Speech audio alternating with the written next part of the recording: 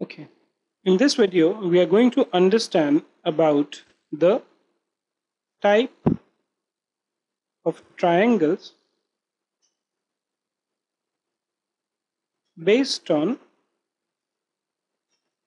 angles. Now there could be three kinds of triangles basically when we talk about angles okay? Now what happens is that let's say we know that the triangle has three sides. Okay?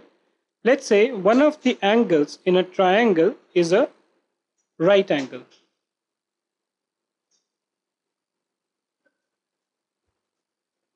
In such a case this triangle is called a right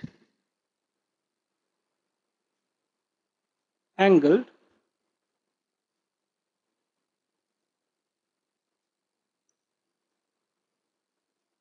triangle.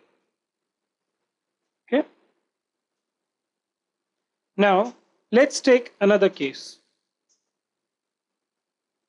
which is that let us take something like this triangle ABC.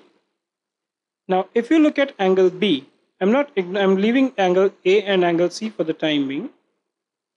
If you see angle B, if it would have been a right angle triangle, the triangle would have been something like this. But this angle B,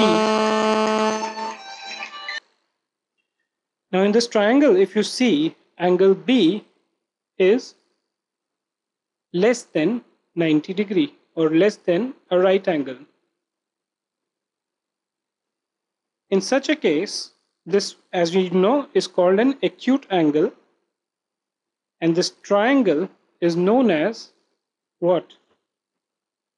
It's known as an acute angle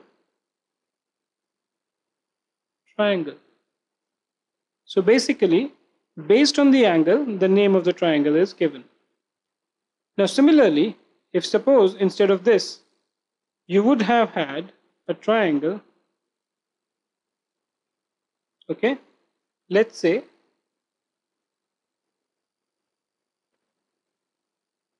Now in this case, this angle if you see, let's say let's call it as ABC. The angle B which is here is greater than B is greater than 90 degree or B is an obtuse angle. In view of this, this triangle ABC is called an obtuse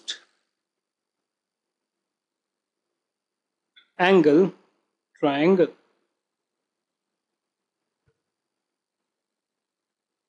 Okay. So based on the nature of the angle which was there, the triangle was renamed.